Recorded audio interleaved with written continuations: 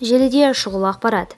Сәлеметсіздер ме қымбатты көрермен біздің арнамызға қош келдіңіз. Әлемде және қазақстанда болып жатқан жаңалықтарды ең біріншілерден болып біліңіз. Келсе арнамызға жазылып лайк басып ұнытпаңыз апат салдарынан төрт адам қаза тауып тағы екеуі зардап шекті. Жергілікті мойгор порталы облыстық полиция департаменті сілтеме жасап жазғандай жол апаты таңертең қаратөбе ауданы қазкөл ауылының маңында самара шымкент автожолында болған. 43 жастағы лада приора жүргізушісі қарсы қозғалыс жолағына шығып мазда көлігімен соқтығысқан.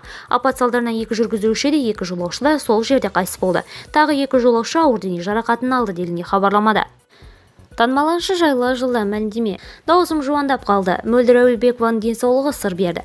Құрмет орденінің иегері әнші мөлдір әуелбекова денсаулығы нашарлап жедел жәрдеммен ауруханаға жеткізілді. Бүгінгі жағдай көрсетілген жәрдемді бөліспесем болмайды. Сіздерге одан қажет болуы мүмкін. Сақтықта қорлық жоқ екен ғой халқым.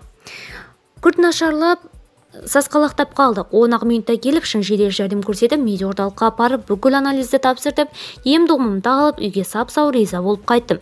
Көз тигеннен шығар даусым жуандап тамағым бітіп қалды дейді әнші. Эстрада дер кезінде көмекке келген жекеменшік жедел жәрдем қызметкерлеріне алғыс айтты.